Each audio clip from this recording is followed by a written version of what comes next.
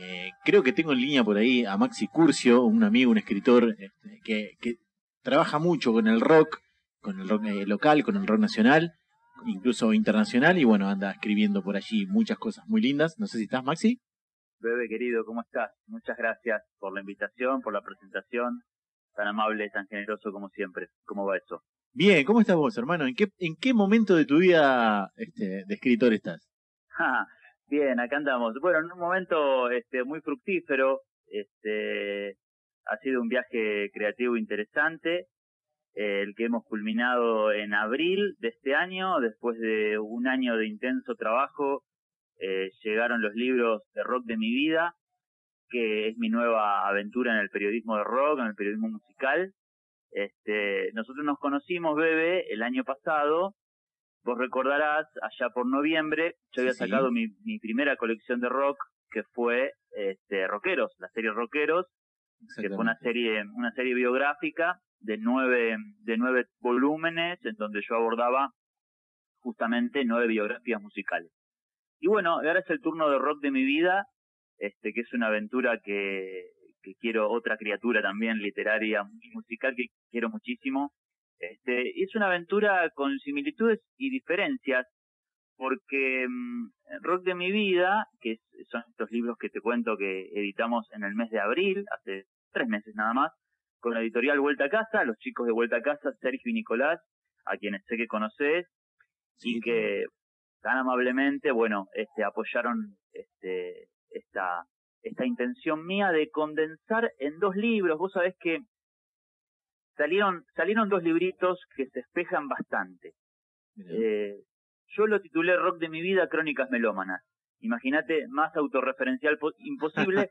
es, claro, es mi historia de, amor, mi historia de vida con la música, mi, mi, mi, vínculo emotivo. Es un viaje que hago, son dos viajes en simultáneo, este, o cuatro en realidad, porque es uno al rock nacional, otro al rock internacional, este, pero digo que es la, simultaneidad porque es un viaje cronológico que hago eh, repasando la historia del rock allá y aquí, desde aquel entonces hasta hoy, y también un viaje emotivo, ¿no? A aquellas bandas, artistas, canciones, discos con los que tengo onda ligazón. Claro, ¿sabes qué pasa, Maxi? Yo creo que vos lo hablamos nosotros también. Eh, uno escucha música, en tu caso sos un melómano, sí. y te trae aparejado momentos de tu vida, más allá, excediendo o, trascendiendo el, momento musical, pues son imágenes de, no sé, te digo, el perfume de tu casa donde estabas escuchando eh, una canción, o, el momento de tu vida, o ese primer amor, o, esa música que te recordaba, o que querías cantarle o mostrarle a, tu novia, o, no sé, viste, es un montón de... es parte de la vida, digamos. No, tal cual, o sea, a, a quienes se nos ha revelado el rock and roll, eh, o la música en cualquiera de sus formas, o te diría, hasta me voy un poquitito más allá y te digo el arte en cualquiera de sus formas, este, nos puede pasar con una película, con un libro, con una pintura, pero nos pasa con la música porque somos melómanos y nos encanta el rock y estamos hechos de rock y de alguna forma ligás con, con algo que te pasó que como vos decís bien, transmuta también en los sentidos, ¿no? Puede ser un olor, puede ser un color, una atmósfera, un lugar, este, un momento. Y bueno, evidentemente allí es cuando se revela, se nos revela ante nosotros la, magia del rock y la magia de esos artistas que también están, digamos, bendecidos de alguna manera, ¿no? Que te tocan con la varita y que de alguna forma tienen esa, esa, te diría, esa mística para llegar a nosotros pulsando la fibra íntima perfecta e indicada, ¿no? Y bueno, quizás es una, una melodía, un acorde, este, una poesía de una letra y no se va de nosotros nunca. Claro, claro, totalmente. Bueno, alguna vez eh, Solari decía que si una canción cambia tu forma de ver el mundo, cambia tu mundo. Ah, constructivista y demás cree en eso, ¿no? Nada, es... A mí me gusta hablar de la banda sonora de la vida de uno, ¿viste? Sí, absolutamente. Yo digo en, la, en, el, en el prólogo, en la introducción que hago los libros, este, termino dedicándoselo a ellos, que son mis héroes del rock, ¿no? Este, sin los cuales no sería nada, sin Spinetta, sin Charlie, sin Fito, sin Andrés, sin el Indio, sin Gustavo, ¿no? Y no quiero dejar afuera a nadie.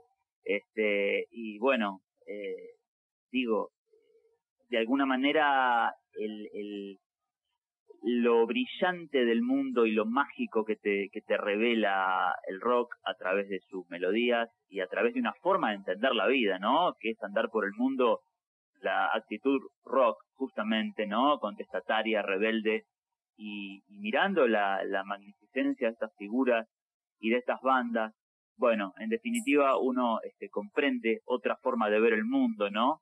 Este, a veces cuando todo alrededor puede parecer opaco y mediocre, ¿no? Allí están estos, estos ídolos absolutos para, para mostrarnos esa belleza. Y para salvarnos, porque decimos nosotros siempre la música te salva.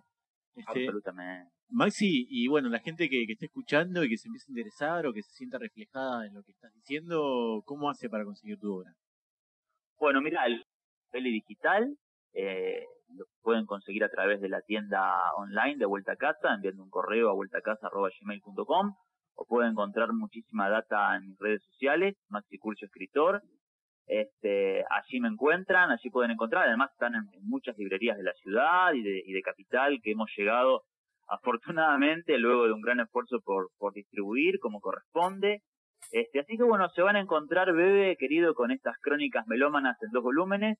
Destiné, como te decía recién, un volumen a, a cada a cada rock, al rock nuestro, autóctono, al rock anglosajón, hablado en inglés, cantado en inglés, contado en inglés, este, tal y como sus orígenes. Y bueno, allí podrán encontrar en los libros, son viajes, ¿no? Cada uno elegirá el, el, el tomo que más le guste, o ambos, por supuesto mucho mejor, que como te decía al comienzo de la charla, bebé, un minutín más, son libros que se espejan bastante porque están construidos a través de secciones, de manera que el melómano que se acerque a los libros va a poder encontrar secciones que se vertebran a través de discos, canciones, bandas, conciertos, artistas, o sea, biografías de artistas, este, y también como el rock bebe de otras de otras fuentes y de otras artes, como por ejemplo el cine, la literatura, la fotografía, este, está todo allí en mi, en mi elección, en mi anecdotario, en mi radiografía